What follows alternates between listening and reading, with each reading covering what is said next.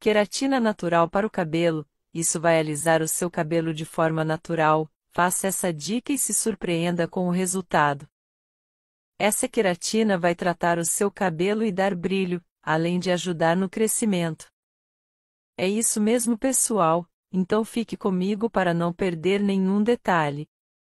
E para nossa dica de hoje, vamos precisar de uma folha de babosa, essa folha já deixei de molho, para soltar toda a sua aloína, que é esse pigmento amarelado que pode causar alergia.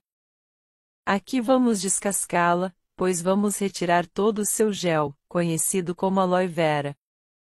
E eu te peço que no fim do vídeo me dê uma nota de 0 a 10, a sua avaliação para mim é importantíssima, gosto de saber o que está achando das nossas dicas. Depois de retirar todo o seu gel, vamos para o próximo passo da nossa dica. Agora vamos precisar de um limão, é isso mesmo, você vai espremer o suco do limão dentro da aloe vera.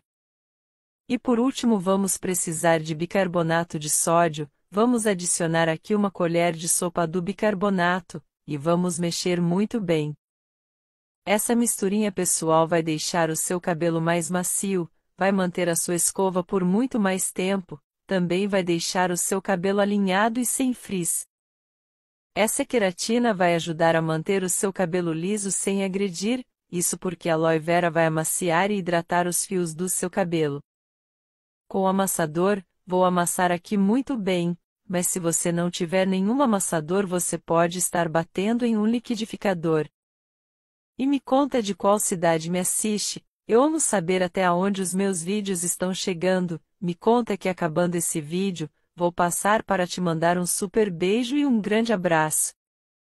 E como você vai estar usando essa queratina maravilhosa, você deve lavar o seu cabelo com o shampoo, e depois, passar a queratina da raiz até as pontas, e massageando, depois coloca uma touca térmica ou uma sacolinha, e deixa agindo por 40 minutos. Após esse tempo, você deve enxaguar e aplicar o condicionador. Você pode estar usando até três vezes na semana, e você notará como seu cabelo vai mudar. Faça que tenho certeza que vai amar o resultado. E se você ficou comigo até aqui, deixa nos comentários a palavrinha babosa, que assim vou saber que você ficou comigo até o final do vídeo. E esse foi o nosso vídeo de hoje, espero muito que vocês tenham gostado. Ah, e não esquece de deixar minha nota, e de falar de qual cidade está me assistindo. Vou ficando por aqui, te espero no vídeo de amanhã, um abraço.